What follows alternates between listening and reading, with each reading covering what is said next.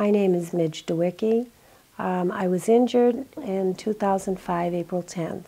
What happened is I fell off a porch. I fell five feet, landed on my chin, broke my neck, left me a C5, C6 quadriplegic. Since that time, I've been doing many things.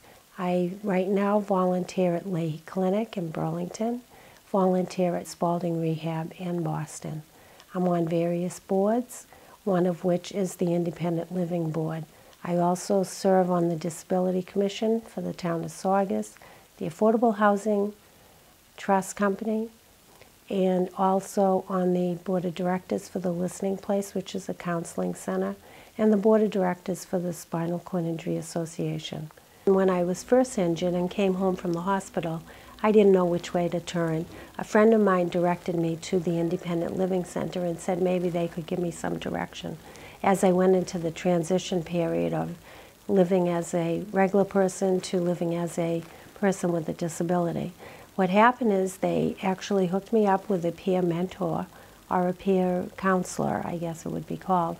And um, they told me how to go about looking into financial aid for putting an addition on or putting a ramp on.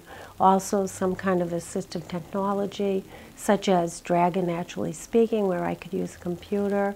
Um, other things like a, a adaptive telephone and various other things, directing me to the Easter seals, maybe to get some kind of door openers, all different things. They also gave me the opportunity to meet different people who are in similar situations or had similar disabilities. They also offered support groups, which I could go to, and also um, various social events.